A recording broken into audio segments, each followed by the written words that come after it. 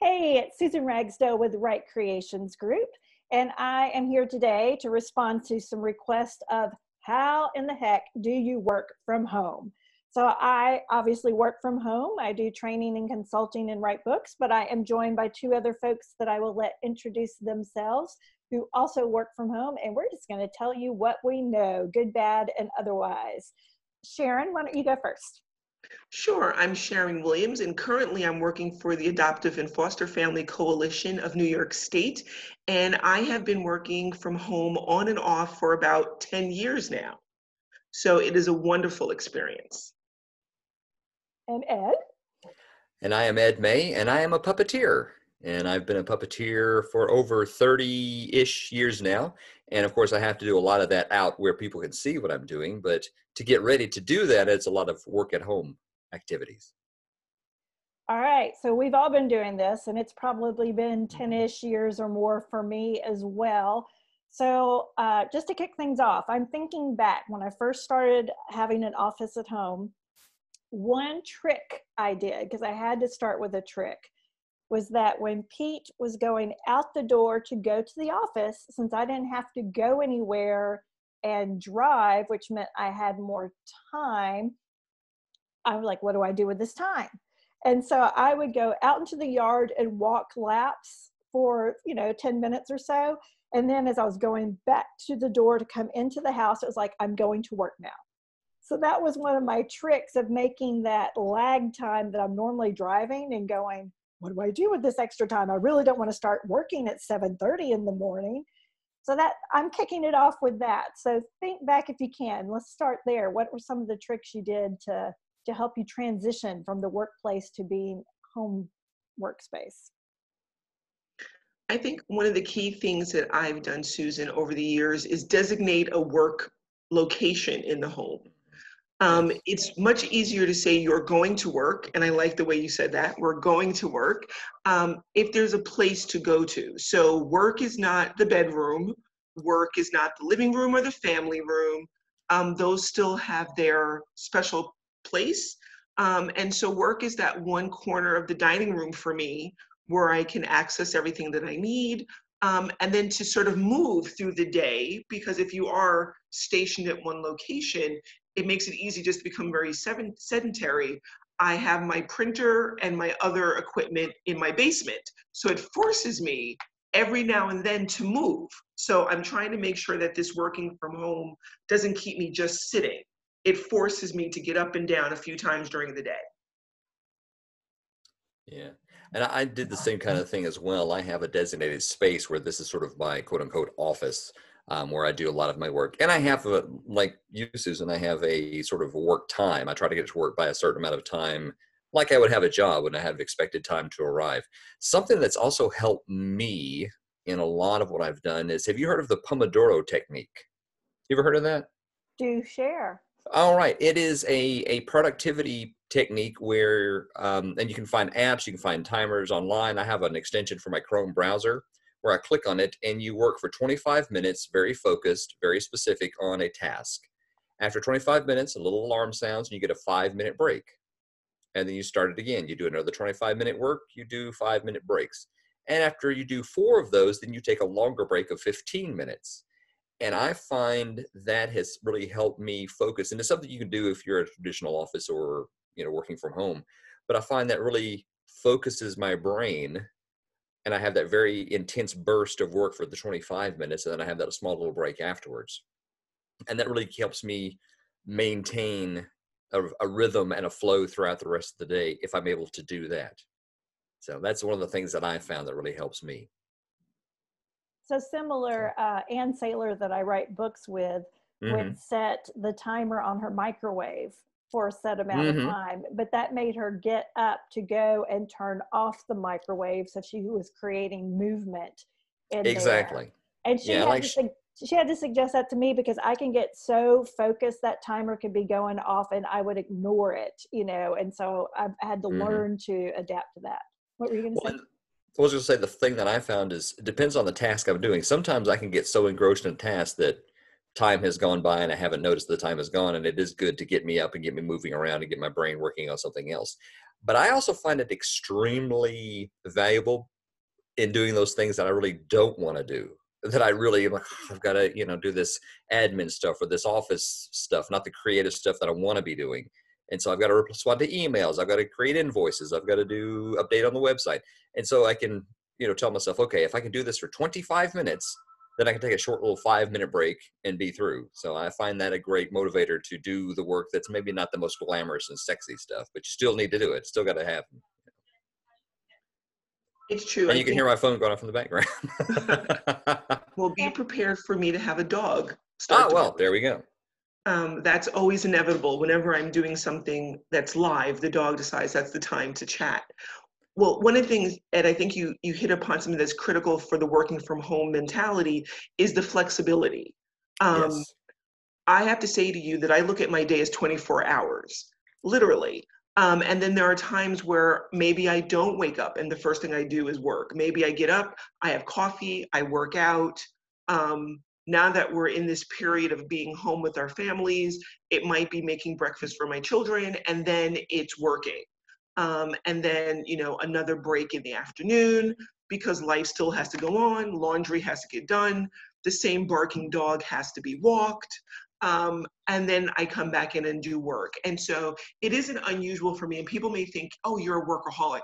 I find myself sometimes at night um, nine o'clock busting out some work because that happens to be a really nice quiet time in our house and i can get a lot of work done and then that means tomorrow morning I don't have to get up as early because some of those tasks are done. So I think the working from home thing is about finding your rhythm. Um, and I know someone used that term when we were first talking. What is that rhythm? Um, and for some people, it may be more 25 on, five off, or whatever. But to feel comfortable in finding what works for you, um, I think is what makes people successful working from home. Because um, I can almost envision people including myself, going, the timer is about to go off, and there's a certain amount of stress or reluctance. Um, so, working from home, I think, helps people to focus in a different way, um, and they have to find what works best for them. I'm oh, sort oh, yeah. of a fly by the seat of your pants kind of gal. Um, as long as the work is done, in my mind, that's what's important. When it gets done, eh, not so important. Now I agree with you 100% on that. Is it's more about the results than how many hours you put in or when you do it and things like that. I find that I I have to have a structure. If I don't have a structure, it's very easy for me to spend a couple hours fooling around on Facebook or YouTube or just fooling around looking at something at the house or where did I put the, you know, and, and going through a, a, rabbit hole of anything like that. So I have to sort of the night before, I usually try to plan out my week on Sunday and get a general idea of what do I want to do. And then the night before, try to plan out what's that day going to look like. Now, that being said, I agree 100%, Sharon. It has to be flexible because, especially people now who are sort of being thrust into this work at home environment that they're not used to, you're going to have kids you're going to have the barking dog you're going to have people coming in you're going to have phone ringing you know things like that. So something happens you've got to deal with that thing. Um, but i need to have the structure to say okay today i'm going to write the script. Today i'm going to build the puppet. Today i'm going to you know and have an idea. Um, but then if something happens you know be flexible to be able to to roll with it. And and and I also agree with what you said. Find what works for you. A great structure, a specific time may not work for you, may not work that way, but it helps me a lot. Otherwise, I would get nothing done.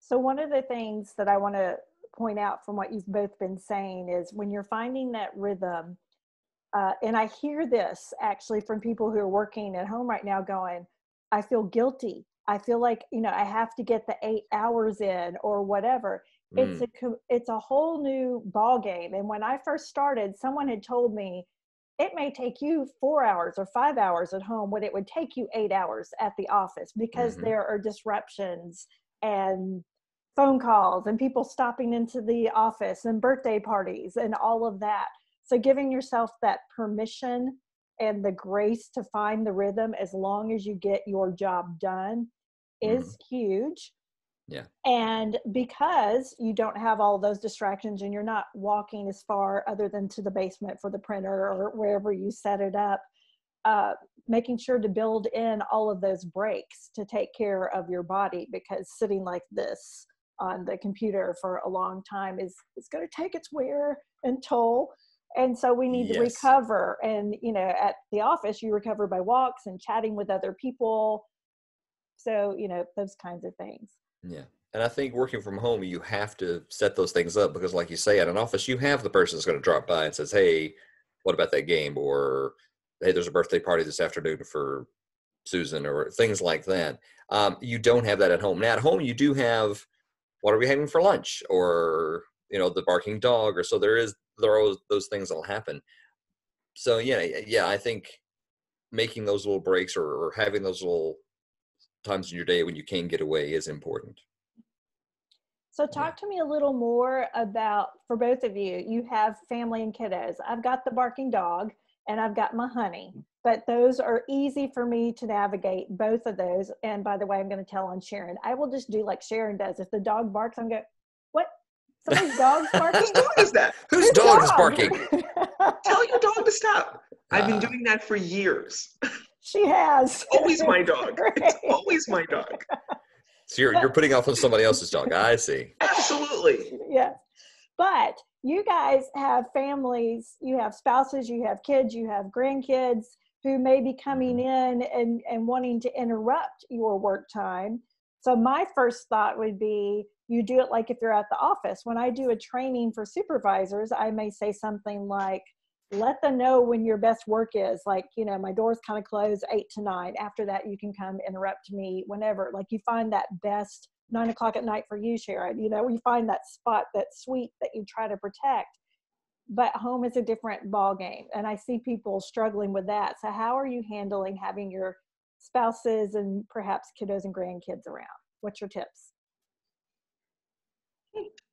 interesting you know because i've always sort of worked from home um, and the kids have always been a part of it whether it's their infancy when they were actually here with me um, or as they've gotten older it is really having clear discussions um, I'm on a call right now. Can you give me 15 minutes?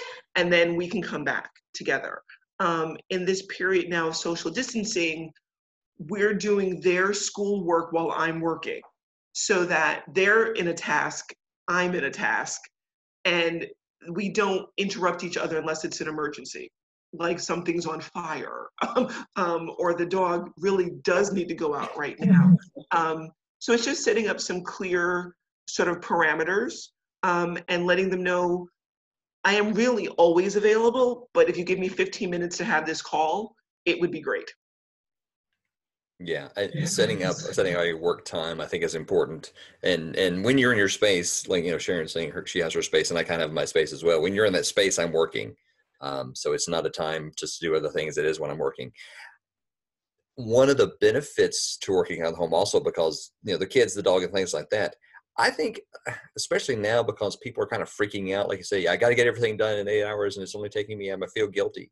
Also, you know, reframe it a little bit. See the fact that it's a gift that you can be there with your spouse or your child or your dog. You know, in the middle of the day, you could sit down with your kid and play Legos, or you and your spouse. Matter of fact, this morning I probably should have been writing a script, but my wife and I went out and took a walk because it was nice and sunny. First time it's been sunny in a while here. So yeah, we went out and we had the opportunity to do that, and that's that's kind of a cool thing that you have that flexibility. So I almost see that as a benefit and a gift of working at home. Now that also means that later on this afternoon I'll have to sort of rewire my brain and get ready to do more work. But you know, it's it's then I'll be in my space, and then I'll tell everybody, look, I'm in my space, and everybody sort of realizes when I'm in this spot, I have a dedicated work time. So yeah, I think I think having that dedicated space and the dedicated time together helps. But also see it you know like we've talked about before flexibility. Sometimes the dog is on fire. Sometimes we do have to do take care of the thing that's happening right this minute. Uh, but so you have that opportunity to do it which you don't have maybe if you're at an officer away. So yeah i think see part of that see that as, as, a, as a feature as a bonus working at home. Truth and preach it. Testify I, will say I think all the benefits outweigh uh, any hardships. It's just like you said, it has to. Can't beat the commute. That's right. you save so much best. more money, less carbon. Mhm. you know, you're, uh, you just have to Lower look carbon good. footprint. Maybe I'm not necessarily. they look good from the top up. Sharon, you're looking fabulous, of course. Thank Yes. you so much. I clean up nicely. There's a reason I'm just from the neck up. No, I'm kidding. No, you know, actually, that's something that helps me, and and something that people, a lot of people talked about is like, I'm on a Zoom call, I can wear my sweatpants. You can, and, and a lot of people can do that. But I also find about talking about structure, I need to get up at a certain amount of time, and I need to dress like I'm going to go to work. Now, I don't have to wear a suit for what I'm doing, and I wouldn't say that if you work at a bank and you normally wear a suit, yeah, you should wear a three-piece suit. But I think it does. It helps for me at least to get my mindset into the working mode if I dress for the day. So you know, I'm I'm wearing khakis and a sweater, you know, because it's a little chilly today. Just get ready, and you can't, And some people can do great productivity just wearing the sweats. And if you can do that, great, more power to you. I found out that I can't. If I wear my pajama pants all day, I will be as productive as if I wore my pajama pants all day. So Well, that's funny that you're that's for me. That you're saying that because oftentimes on my writing days in particular, I do dress in a certain way. Like the shirt, Mhm. I don't, you can't see it, but the shirt says breathe and the universe will take care of the rest. Well, that is a message I want to live and embody today. And on writing days, I may, if I'm working on something around social justice issues and youth involvement, I've got um, uh, a D&D shirt that's 20 sides to every story, you know, and that fits perfectly with what I'm also working on.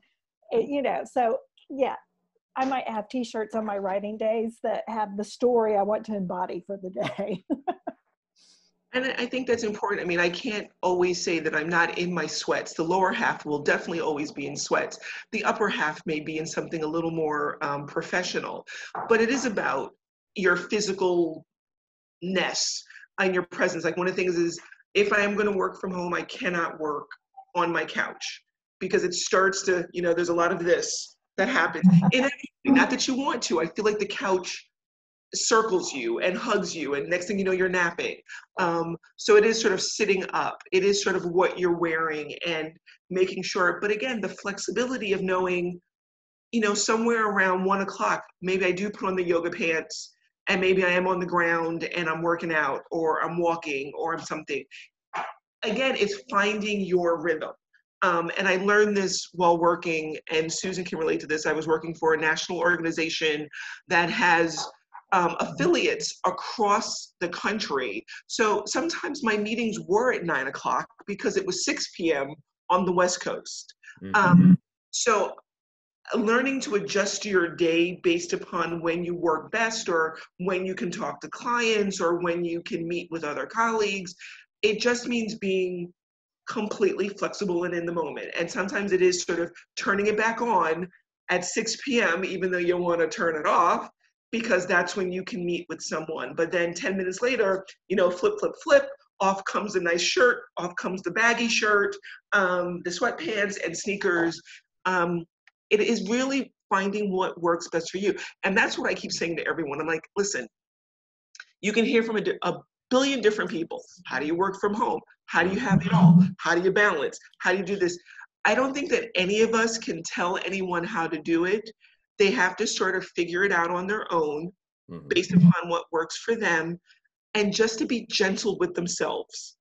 If it didn't work on Monday, try it again on Tuesday. if it doesn't work on Tuesday, try something different on Wednesday. That's the sort of gift of having seven days in a week is that we can sort of play around with this and figure out what works. I may take off on Friday, three day weekend at the Williams Academy. That's what we're calling our homeschooling we may have a three day weekend, but I might find myself a little working on Saturday because I have some time. Um, and that makes up for me taking off on Friday. So just balancing what you wear, how you appear. I mean, I'm hoping that people are not coming to meetings in bandanas and curlers and face cream and things of that. It may get to that though. I feel like the longer we're at home, the more the social graces may fall but um, just forgive ourselves you know just be kind and the work will get done you know the sun will shine again Yeah.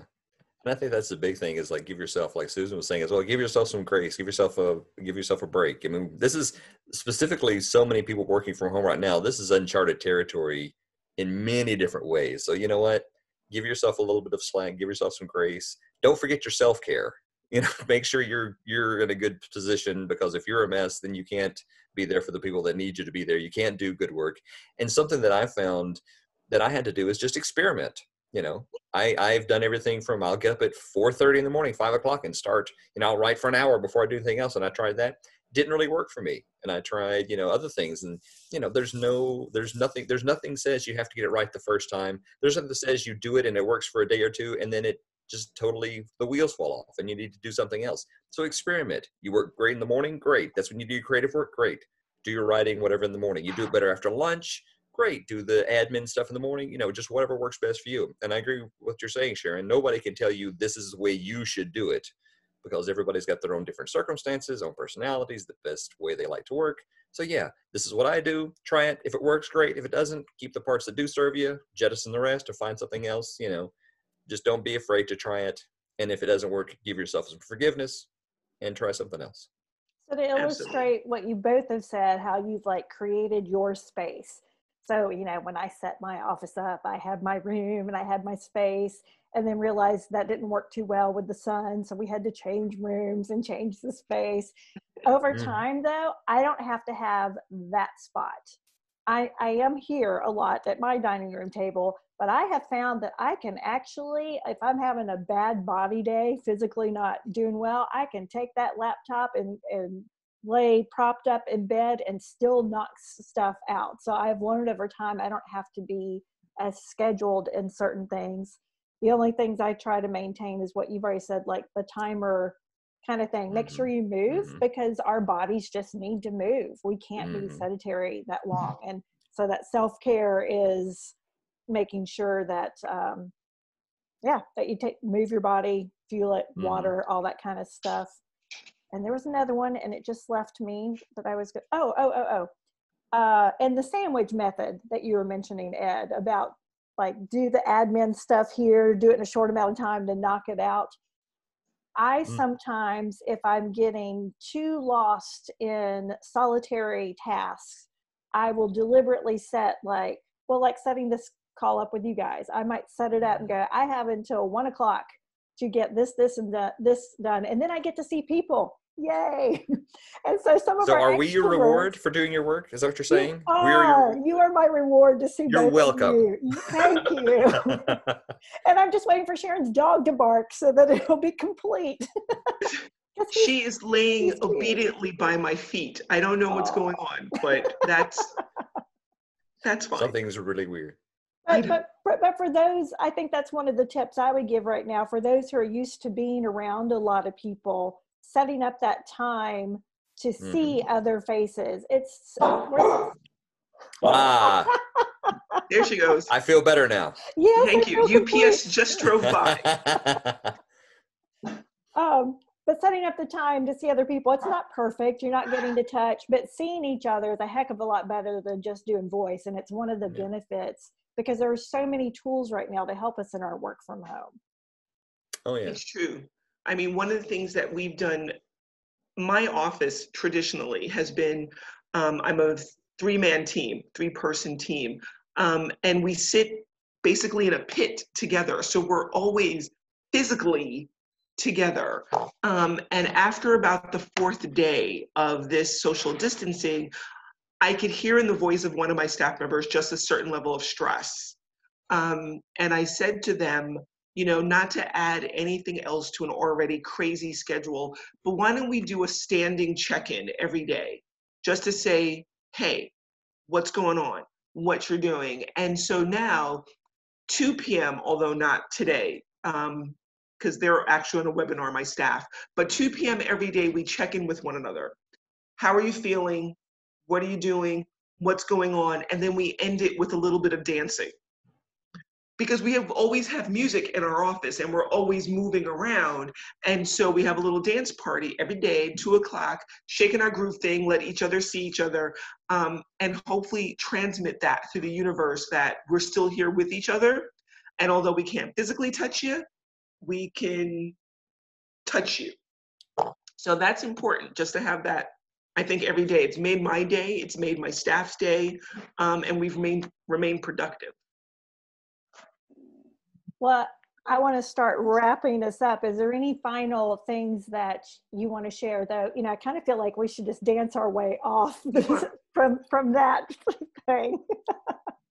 any final tips or things that you would say to encourage folks who are working from home that it's okay, you can do this? Yeah basically just that it's okay you can do this you know find what works for you it'll get done don't stress give yourself some grace. Oh and also as a homeschool dad our child was homeschooled his entire career he never went to public school don't stress it too bad.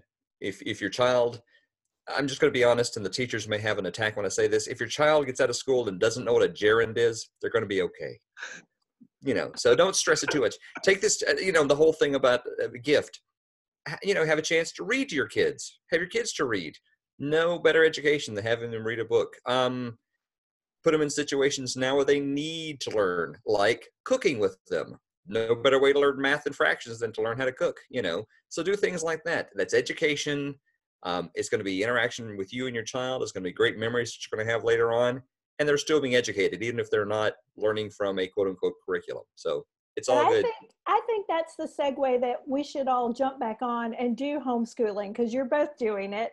And you, Ed, are also teaching English as a second language I am. via computer. So I think we have a lot of tips that we could do. So if you guys are willing, we'll do a second segment. I'll twist sure. your arm. Sharon, any final tips for working from home from your side? Anything you want to impart? Um, I just can't stress enough. Be gentle with yourself the work will get done. And if it's not done today, there's tomorrow and the next day, hopefully, and so on and so on. And so just finding this time to be, and if it's being with your family, or it is that self care, or even teaching your kids about self care, um, that they need a chance to just decompress from what they're doing. Um, like I said, I had great plans for the Williams Academy, and by day two, I was like, "Think out the window. We're just gonna have fun with this, right? We're just gonna have fun with this. Mm-hmm. Um, that's it. It's the only way that I think that we're going to be able to manage the stress. And I'm a fairly stress-free kind of person, so when I hear the stress of other people, it makes me a little stressful. So I want people just to relax, just relax, take a day off nothing's going to happen. The world will be fine. The work will get done. That's the best advice I can say. So if you want to take off tomorrow, I'm giving everybody permission to take Thursday off. Just take it off. Um, Done. I'm taking it off, as you said. Take it off. Sharon said I could. It is. And then Friday, pick it back up and you'll be okay. Well, thank you. And Sharon, it's great to have two of my friends. So we're going to end this segment for now, but I'm going to get them back on and we'll talk about homeschooling for 101 newbies. And I hear the Williams House uh, headmistress is pretty tough to uh, to get. I hear that too. I hear that she likes to keep those kids on task. So thank you. We're going to end that for now. And uh, again, this is Susan Ragsdale with Write Creations Group. If you have things you want us to talk about and explore, let us know.